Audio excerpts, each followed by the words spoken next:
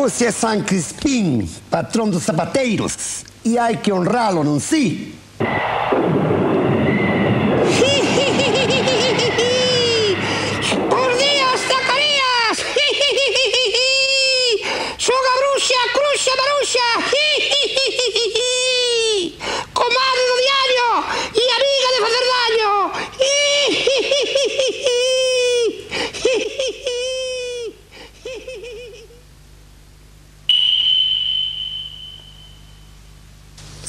San Crispín bendito, non si?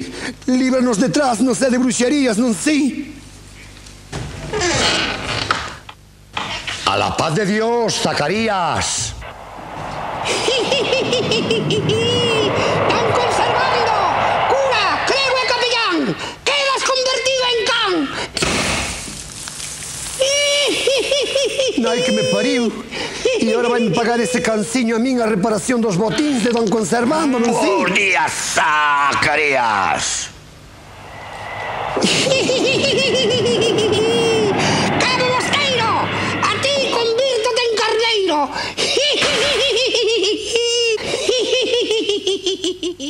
Alá se vai outro cliente, non si? Ainda que esta non é moita a perda, porque este era máis pegador que pagador, non si? Nos de adiós, Zacarías. Hoxe hai que celebrar o teu patrón. Vaite, vaite, non sei, fuxe, farruco, fuxe, non sei. Como son máis mala que o veneno, fago un farruco pequeno. Alá vai o meu amigo farruco tamén, non si? É que vou falar agora eu con ese nanito do carallo, non si?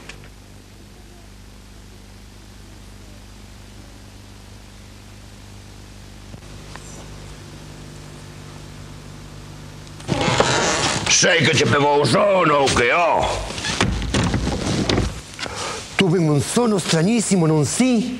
Soñei que ti eras un enanito, que don conservando era un can, non si? E que o cabo mosteiro era un carneiro, non si? A min me parece que ti tes máis sobra de viño que falta de sono. Non che vai por aí o conto, non si? O que pasa é que nos días da miña vida, non si, vi unha cousa semejante, non si. A ti estáche pasando o mesmo que lle pasou a aqueles dous borrachos que iban pola vía do tren. E vai un deles mirando para o rei e les dixo Ois, mira que están ben baixos os pasamás destas escaleiras. E vai o outro mirando para os travesaños dixo Ois, pois os escalóns están ben separados. E nese momento viño o tren, ¡pii! e dixo outro, menos mal que xa ven aí o ascensor. A la paz de Dios, carambolas, mira os dos corderillos descarriados de mi rebaño. Aquí o único carneiro non sea o cabo mosteiro. E usted é un canciño de peluche, non si? Que improperios mascullas tú por esa boca de satán? Non lle faga moito caso, que a mí me parece que hoxe anda algo averiado. Averiado si que andas ti, non si? É nano peludo do carallo. Hoxe vai ser mellor que peche a tenda.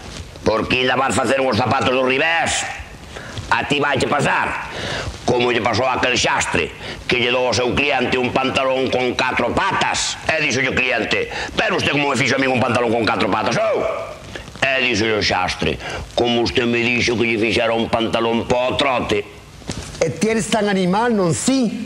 Que en vez de acercar os bois ao carro Acercas o carro aos bois, non si? Bueno, bueno Haya paz y concordia, que amigos como vosotros debéis de caminar unidos, siempre asidos por el mismo yugo, cual si fueseis bueyes.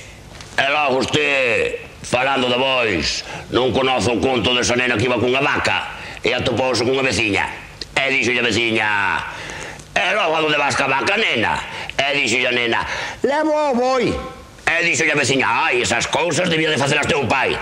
E dixolle, nai, non, oh, o meu pai non che ja tanto. Maldita boca negra la tuya, farruco.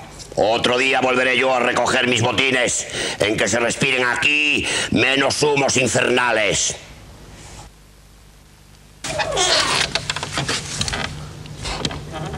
Deixa oírnos, sí con seus botines ainda están descansando, non si? porque están moi zapateados. Vaya dous palomitas do Pilar. Chegou a autoridade, non si? E cando usted chega, aquí temblan as dos patucos, non si? É logo que se lle pode servir. Eu viña porque nos entregaron un libro a, ali no cuartel e como non traen nada máis co nome, Pois viña a ver se si me podías dar algunha pista. E logo que nome é? Pon Miguel de Cervantes. Conocédelo. A min soname.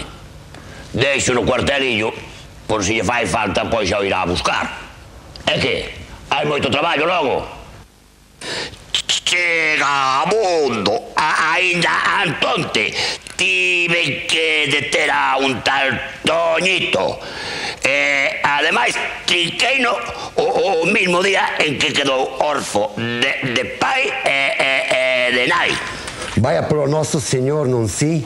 E logo morreron de accidente, non si? Que accidente ni que farrapo de gaita. Trinqueino eu porque foi o que matou os pais. Vostede Xa debe de estar farto destes traballiños, non? Ti xa estou cansado que me dirá a min te unha moto como teñen agora os meus compañeiros novos. Cada un ten a súa ilusión, non si? A miña sería ter unha hortiña e máis unha boa vaca amarela, non si? É que ten que ver unha vaca amarela cunha moto.